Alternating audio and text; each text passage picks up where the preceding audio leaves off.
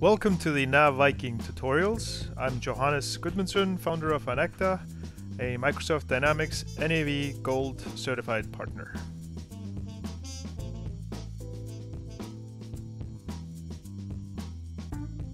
Hello and welcome to the Coffee Mug tutorials. We've been going on posting groups like forever. And today I'm going to do something different.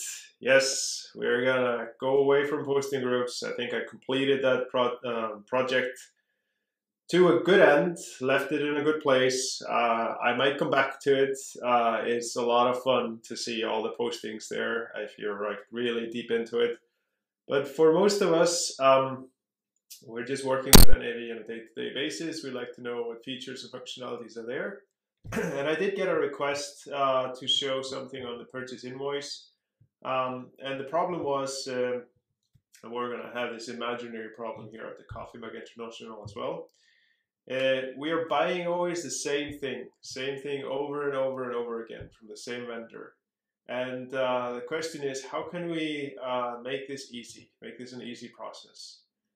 And uh, so I'm going to jump in here and just talk about the purchase invoice and one particular feature of the purchase invoice.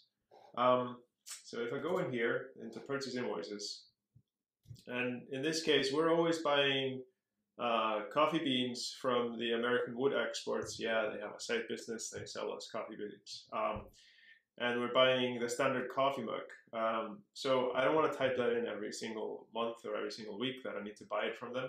I just wanted to sort of pop in. Um, so this is one way we can do it. If I go here into new and into the purchase invoice, I'm actually going to just start one for the American wood exports. Uh, let's see here.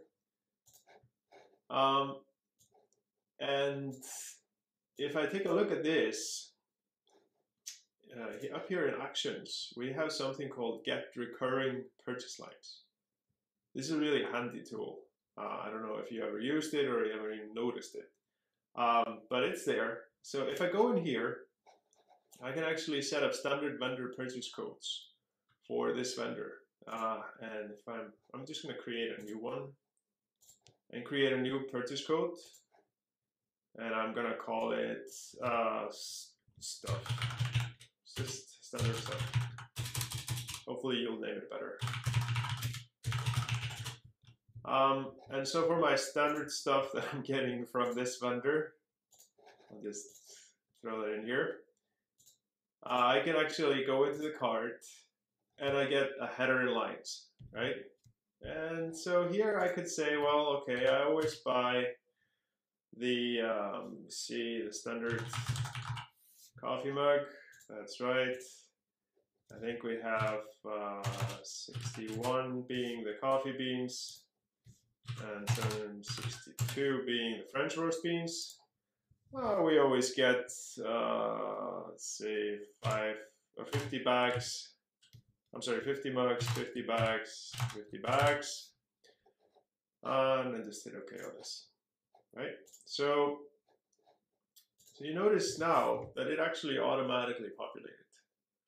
So all I had to do was get recurring purchase lines. So for the next one, I just go up here and hit get recurring purchase lines and just show this again. So we have uh, have it all the way from the beginning. Let's say I have nothing here. Get recurring purchase lines. Go to my stuff. Hit OK, and it's there, right?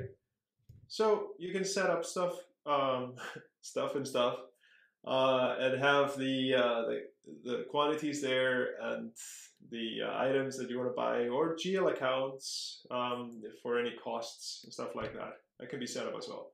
Now, what about if we want to set up the price? Notice that I didn't set up the price and it's probably picking up the uh, or the costs, direct cost to the, uh, the vendor from the cart.